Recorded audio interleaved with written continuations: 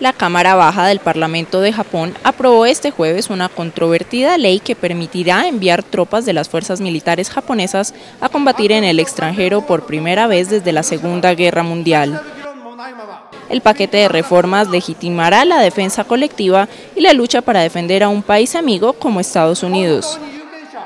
El primer ministro Shinzo Abe asegura que las medidas son necesarias para afrontar los nuevos retos, especialmente con China.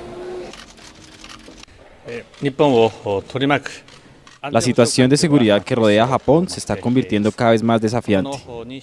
Con esto en mente, se trata de una legislación absolutamente necesaria para proteger la vida de los japoneses y también para evitar que el país vaya a la guerra.